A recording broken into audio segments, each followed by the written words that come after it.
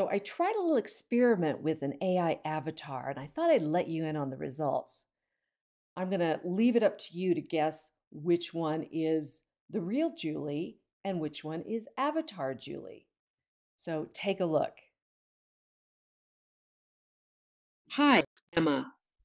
Do you believe that your team is as effective in virtual customer interactions as they are in person?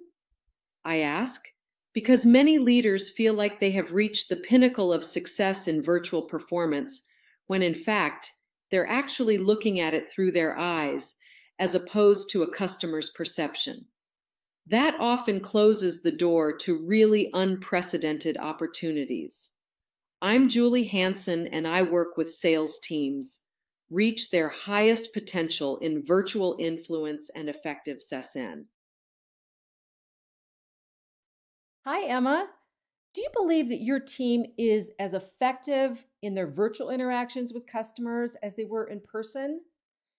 I ask because a lot of leaders feel like they've reached the pinnacle of success in terms of virtual communications.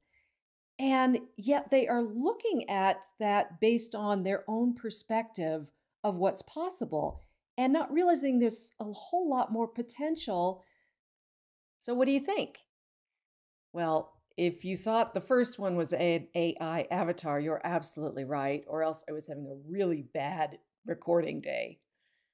And you could probably tell because I was very wooden, the phrasing was very odd, and my gestures were not associated with the words I was saying. All in all, not a great experience, I would think, from a customer. I'm not sure what they would think about that, whether, boy, this is bad AI, AI or she's having a rough day.